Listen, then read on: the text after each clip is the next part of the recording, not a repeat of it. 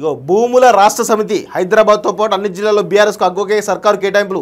ముప్పై మూడు ముప్పై మూడు జిల్లాల ఆఫీసుల కోసం నాలుగు వందల అరవై తొమ్మిది కోట్ల ల్యాండ్స్ భారత్ భవన్ కోసం కోకాపేటలో ఐదు వందల యాభై కోట్ల స్థలం. ఇప్పటికే బంజారేస్లో బంజారేస్లోని ఎకరం భూమిలో కొనసాగుతున్న పార్టీ రాష్ట్ర కార్యాలయం. పార్టీ ఆఫీసుల పేరుతో వందల కోట్ల విలువైన స్థలాలు సహా చూడండి ఇక పార్టీ ఆఫీసుల పేరుతో రాష్ట్ర వ్యాప్తంగా వందల కోట్ల విలువైన భూములను ప్రభుత్వం బీఆర్ఎస్కు అప్రంగా కట్టబెట్టింది. కేటాయించిన జాగాకే పరిమితం కానీ గులాబీ లీడర్లు పార్టీ ఆఫీసులో అనుకుని ఉన్న స్థలాలను కూడా ఆక్రమించుకొని భూదందా చేస్తున్నారు.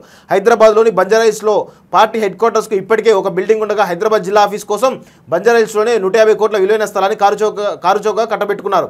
అంతటితో కాకుండా భారత్ భవన్ పేరుతో ఒక ఎక్సలెన్స్ సెంటర్కు కుక్కాపేటలో ఐదు వందల యాభై కోట్ల విలువైన స్థలాన్ని కేవలం ముప్పై ఏడు కోట్లకి తీసుకున్నారు.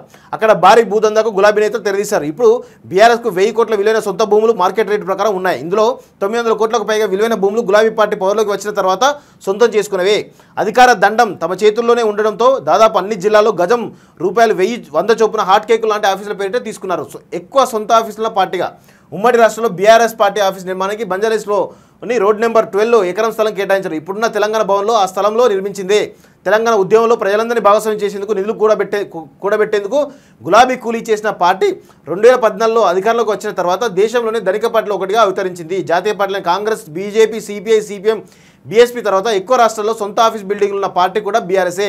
ఇదంతా కేవలం తొమ్మిదేళ్ళ వ్యవధిలోనే సాధ్యమైంది. సో ఇది మొత్తానికైతే ఇక పార్టీ ఆఫీసుల పేరుతో వందల కోట్ల స్వాహా చేస్తున్నాడు. ప్రజలకు ఇవ్వండిరా నాయన అంటే శాత కాదు. ప్రజలకు పని చేయండి ప్రజల కోసం పని చేయండి అంటే శాత కాదు. కానీ వీళ్ళ పార్టీ ఆఫీసు కోసం మొత్తం ఆస్తులు పెంచుకుంటూ పోతా ఉన్నారు.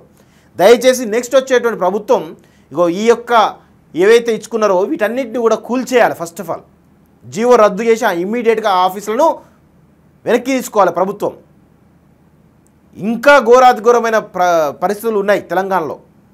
ఒక నియంత పాలన కొనసాగుతూ ఉంది. ఆడు కిమ్ గార్డ్ కంటే డేంజర్గా తయారైన వీళ్ళతే.